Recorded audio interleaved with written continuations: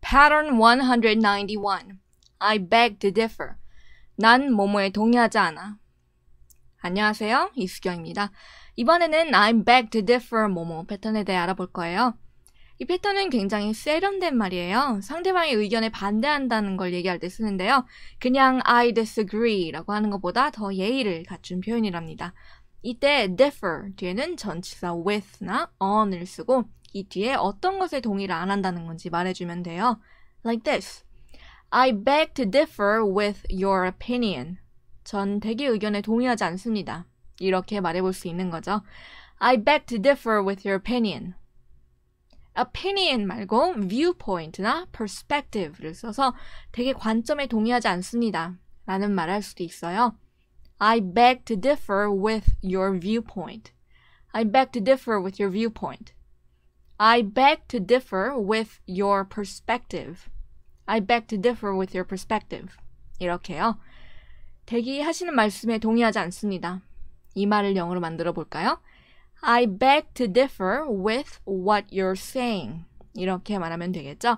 I beg to differ with what you're saying. 이 패턴은 I can't say that I agree with 뭐뭐라고 바꿔 말할 수도 있는데요. 이것도 세련된 표현이죠.